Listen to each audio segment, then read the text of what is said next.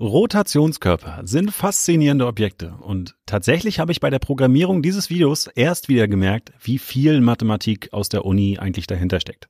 Aber keine Angst, im Matheunterricht wird es nicht ganz so kompliziert, denn das Volumen so eines Rotationskörpers, das kannst du mit relativ einfachen Methoden bestimmen. Ich zeige dir heute mit ein paar wunderschönen Animationen, die du so auf YouTube auch noch nicht gesehen hast, wie genau diese Körper entstehen und wie man dessen Volumen mit einem einfachen Integral bestimmen kann. Erinnerst du dich noch daran, wie der Flächeninhalt unter krummlinigen Kurven eingeführt wurde? Da hast du Rechtecke unter den Graphen der Funktion gelegt und obwohl dort noch einige Lücken zu sehen sind, konnten diese in einem Grenzwertprozess geschlossen werden. Je schmaler nämlich die Breite Delta x eines Rechtecks wird, umso mehr Rechtecke passen erstens unter den Graphen und umso kleiner werden zweitens die Lücken.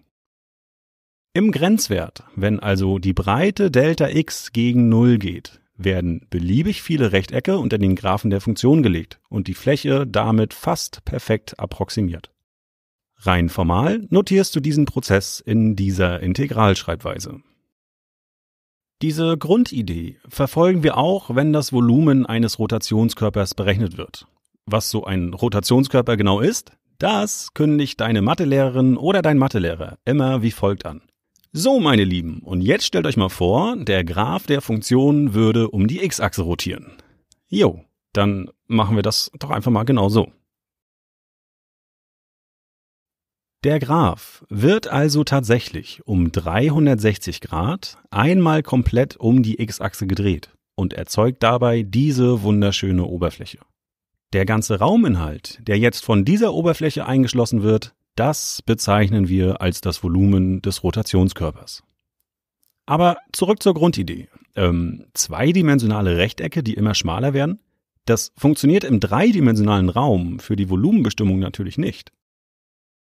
Und genau deswegen musst du dir vor einem möglichen Grenzwertprozess auch überlegen, wie das Volumen unter dem Rotationskörper durch geeignete Volumina approximiert werden kann.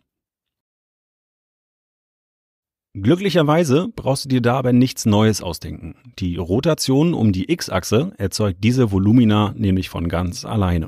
Also holen wir die Rechtecke nochmal zurück und lassen sie um die x-Achse rotieren. Was dabei entsteht, sind diese drei Scheiben hier, wobei es wahrscheinlich besser ist, die Körper beim Namen zu nennen. Es sind schlichtweg Zylinder, die bei der Rotation um die x-Achse entstehen.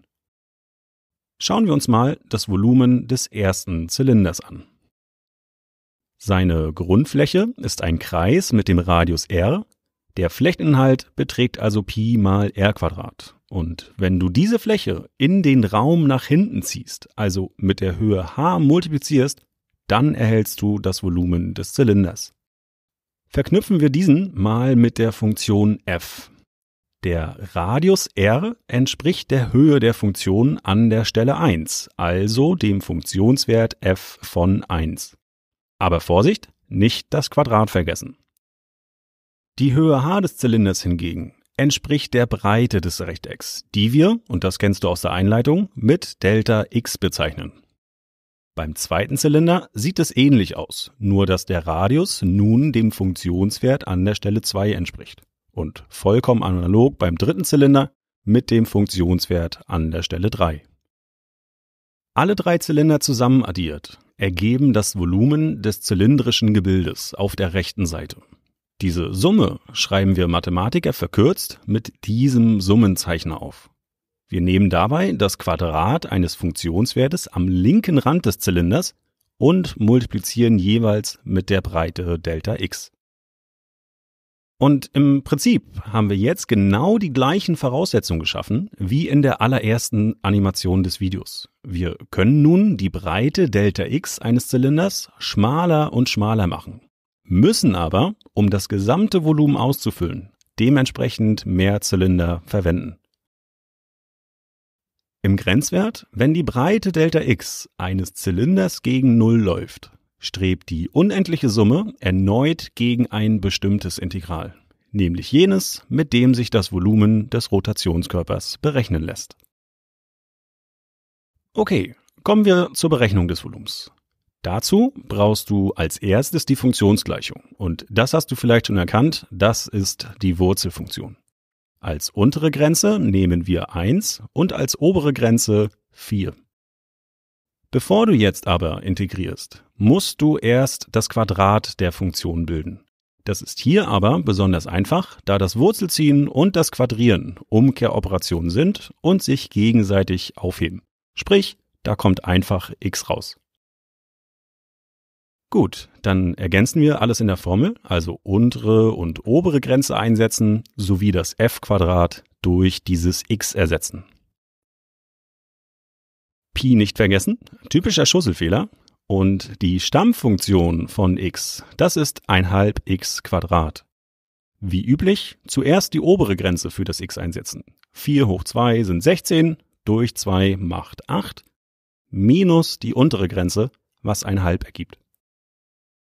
Und wenn du die beiden Zahlen noch zusammenfasst, dann kommt am Ende raus, dass der Rotationskörper ein Volumen von 7,5 Pi Volumeneinheiten besitzt.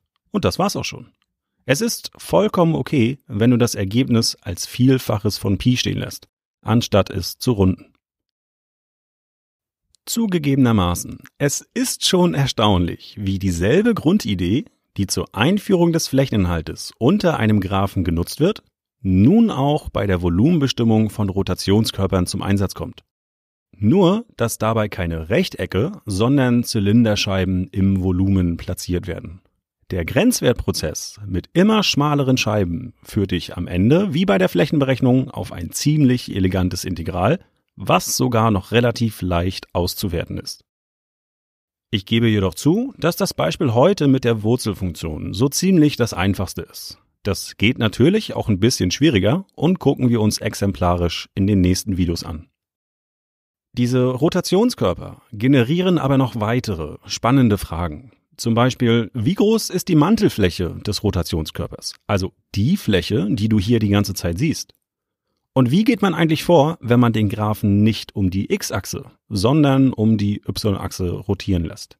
Dazu aber mehr in den nächsten Videos.